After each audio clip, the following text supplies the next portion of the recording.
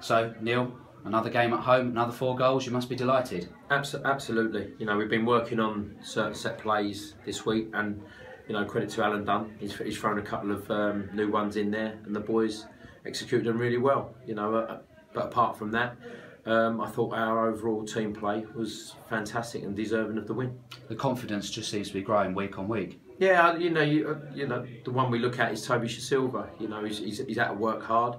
He's come into it, and, he, and you know, he's training. He's doing extra training, and all of a sudden the rewards are five goals in three games. You know, and, and for us, ten goals in in three.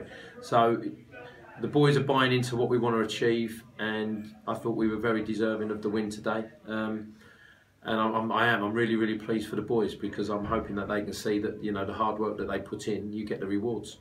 I know we've got a couple of absentees today. Are you able to shed any light on that?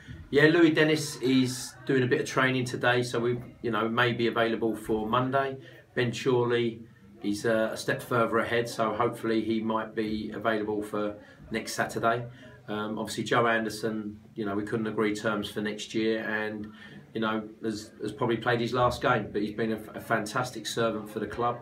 You know, he, he will always be a champion in my eyes, um, as in you know being one of the team that you know, players that got the, the team promoted, and he'll always be welcome back here with open arms because um, he was an absolute credit to himself and Bromley Football Club.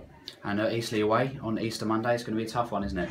They're all going to be tough. We, we know we know that you know, but. Um, our first full faults were today. Get get Barrow out of the way. Um, fantastic wing. We'll be in tomorrow. We'll do a cool down. We'll prep for Eastleigh again, knowing it's going to be another tough game. Um, we're going into it with a bit of confidence, but knowing that it's, it's going to be hard and we're going to have to stay in the game early on against them. But uh, we'll be giving it our all for the supporters that go down there, to, just, just because if they're going to come and watch us, they deserve us to be at our top. Neil, thank you. Thank you.